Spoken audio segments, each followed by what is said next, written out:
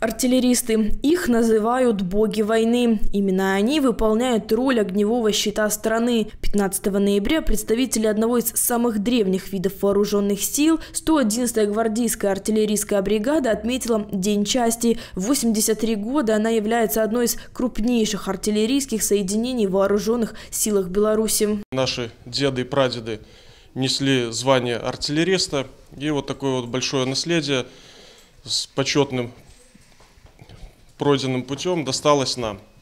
Мы его продолжаем. Бригада участвует во всех учениях, которые проводятся в вооруженных силах, достойно выступает, получает хорошие, отличные оценки. Личный состав готов нести достойное звание артиллериста, воина-артиллериста. И так совпало, что в этот день еще и День матери, поэтому я в свою очередь поздравляю весь личный коллектив, э, личный состав бригады с этим праздником, с Днем части. И также матерей, в первую очередь мам наших военнослужащих с этим праздником, с Днем Матери.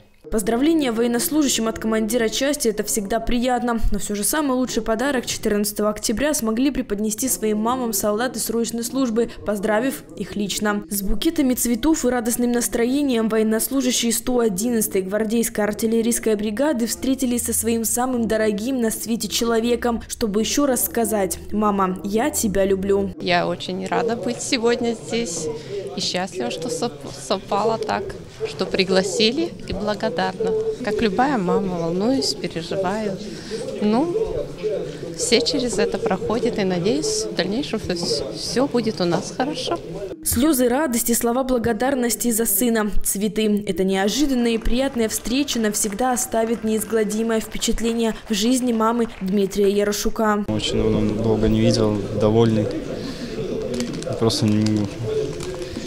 счастлив. Знаешь, типа, что можно позвонить, они приедут, поддержат, помогут. В такой прекрасный день, День матери, у военнослужащих не было ни занятий, ни полевых учений. Задача у каждого одна – поздравить дорогих женщин, подобрав те самые слова, которые скажут о главном. А роль начальства, в свою очередь, поблагодарить тех, кто воспитал достойного защитника и даже защитницу своей родины.